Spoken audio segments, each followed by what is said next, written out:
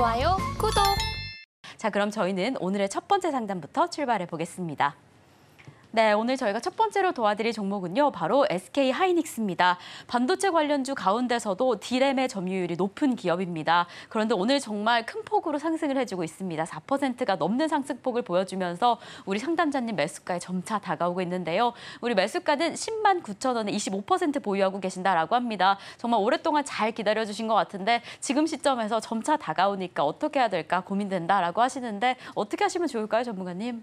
자 이제 좀만 더 올라가면 이제 수익으로 바뀌는데요. 음, 일단은 인공지능 섹터에 대한 이슈가 지금 터가지고 그래서 지금 하이닉스에서 만들어 놓는 이제 그 그러니까 고성능 칩이죠. 어, HBM이라고. 그래서 그런 고성능, 그러니까 인공지능에 들어가는 그 반도체는 굉장히 고성능이기 때문에 그래서 그것 가격도 비싸고 그래서 그것 때문에 이제 반도체가 그런 부분들 때문에 이제 바닥론 얘기도 나왔고 사실 나온 지가 얘기가 좀 상당히 좀 됐던 흐름인데 엔비디아 실적이 괜찮다라는 얘기와 아마 엔비디아에 들어가는 그 반도체가 하이닉스에서 만든 반도체일 거예요. 그래갖고 이제 강하게 움직이는 건데 수익이 다음 주면 나겠죠? 그럼 수익이 나면 한번 파셔야 돼요. 왜냐면 이게 또 언제 또 조정받을지 모르니까.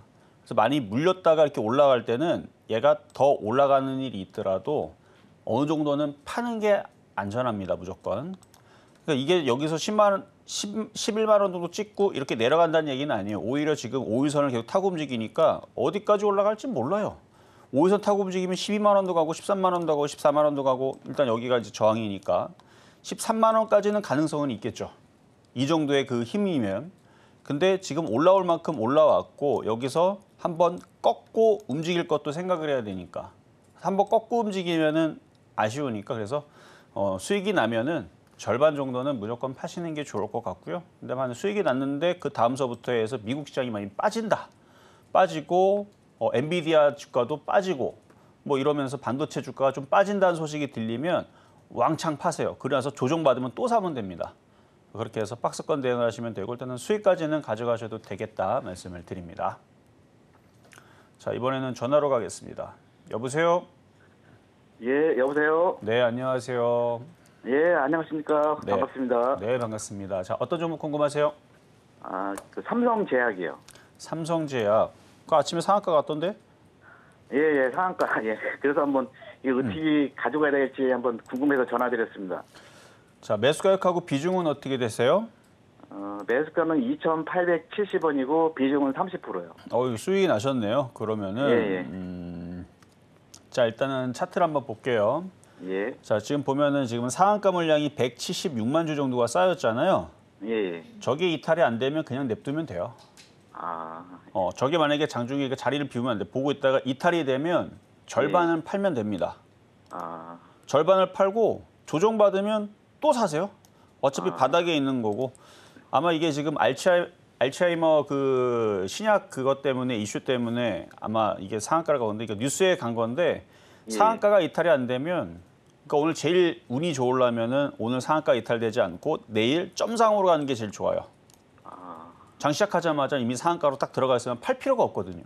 예, 근데 내일 아침에 갭 상승을 주고 막 흔들어 버리면 그러면 예. 그때도 좀 팔아야 됩니다. 예, 예. 어. 근데 오늘은 상한가만 안, 안 풀리면은 그냥 그대로 냅둬도 돼요. 아, 오늘은요? 예. 근데 만약 상한가 장중에 풀리면 절반만 예. 팔았다가 예, 어, 그러면 조정받으면 또 다시 살 기회를 노리면 되는 거고. 그래서 예. 운이 좋으려면 오늘은 상한가가 안 풀리고 이대로 마무리가 되는 게 가장 좋으니까 어, 그것만 되는지 안 되는지만 살피면서 그냥 보유 말씀드리겠습니다. 아, 예, 고맙습니다, 선생님. 네, 여기까지 도와드렸습니다. 자, 이번에도 전화로 가겠습니다. 여보세요. 네, 여보세요. 네, 안녕하세요. 예, 수고 많습니다. 네, 자, 어떤 종목 궁금하실까요? 이오플로우요. 이오플로우 네, 20%입니다, 비중은. 비중은 20%시고 예, 매수가는 3만 원입니다. 매수 가격은 4만 원. 어, 3만 원. 3만 원. 네. 네, 차트 한번 볼게요. 보니까 네. 재작년에 물린 거죠? 한 3년 정도 됐습니다. 작년에는 3만 원이 없는데요. 재작년일 삼- 거예요. 2020년도. 아, 예, 예, 2021년도. 3, 어, 한 2, 3년 됐습니다. 지금 물린 지가. 음, 그렇죠. 네. 어, 반토막이 넘게 났었었네요. 네, 맞습니다. 어, 그러다가 이제 올라왔는데 일단 지금 네. 차트가 바닥을 쳤거든요. 네. 그러니까 작년 10월 달서부터 시장이 바닥을 칠 때 같이 바닥을 치는 모습이 한번 나왔는데 그때는 좀 애매했는데 올해 1월 달에서 이중 바닥형 주면서 완벽하게 바닥을 지금 친 거고 네. 바닥을 친 이후에서는 지금 우상향의 상승 트렌드를 그리고 있고 네. 아, 근데 고점을 돌파를 했는데 갭상승으로 떠갖고 올라가긴 했는데 어, 아직은 힘이 있네요. 이거 수익으로 그러니까 수익으로만 나는 게 목적이라면 어, 가져갈 만해요. 뭐 흔들려도 가져가면 사- 수익은 날 것 같으니까 얼마 정도 어, 잡으면 되겠습니까? 목표가를. 어, 지금 박스권 흐름 와서 32,000원까지는 가능해 보이거든요. 아, 목표가가 예. 어, 32,000원까지는 가능해 보이는데 물론 그 이상 욕심도 내볼 만도 한데 지금 시장이 네. 그렇게 욕심을 내기에는 막 시장이 막 이상해요. 막 올라가는 척했다가 또 떨어지고 올라가는 척했다가 또 아니, 떨어지고. 전문가님이 이렇게 음. 저 말씀해 주시는 게 너무 딱 맞더라고. 제가 여러 종목을 때, 음.